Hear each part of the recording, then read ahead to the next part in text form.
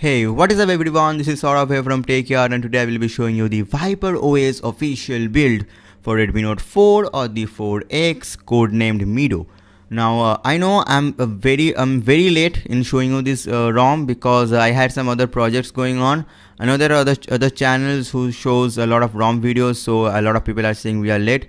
We are late because uh, we have other works to do. We just don't do only ROM videos. We have other devices, and yeah, I'm planning to buy a second-hand Redmi 3S Prime so that I can show you more Redmi 3S coverage. Yep, I'm buying another product for you all. Now it runs on Nougat, uh, so you will definitely get the split screen mode. Don't worry, it's an official build. You will get further updates regarding that.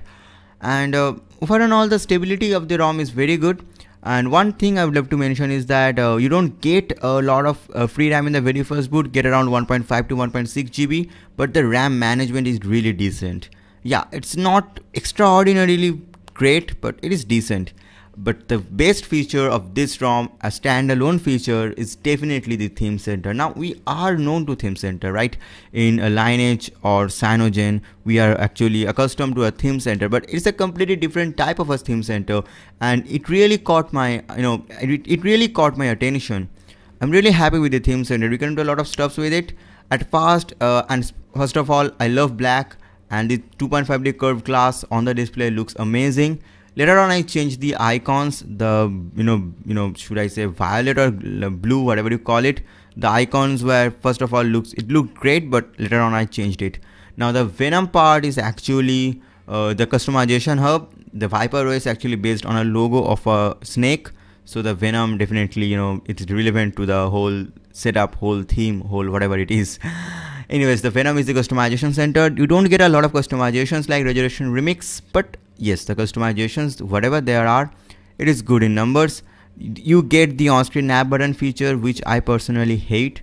And there are some apps right here. We get the FM radio which is I would say a very very good feature. And we get a dedicated wallpaper app called Viper OS wallpapers aka VPapers. Now VPapers is nothing new actually.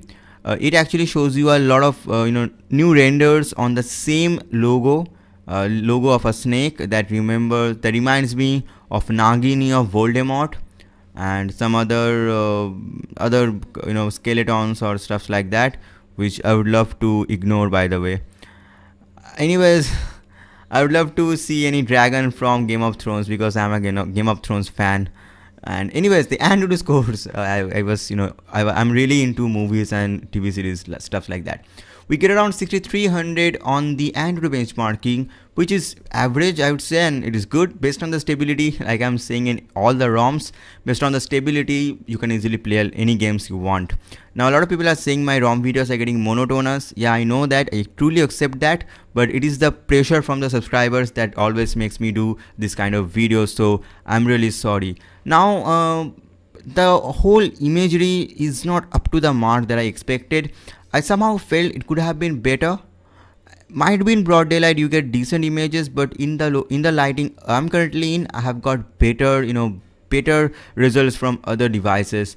We get the 4K UHD playback or shooting option, so you can easily shoot at 4K.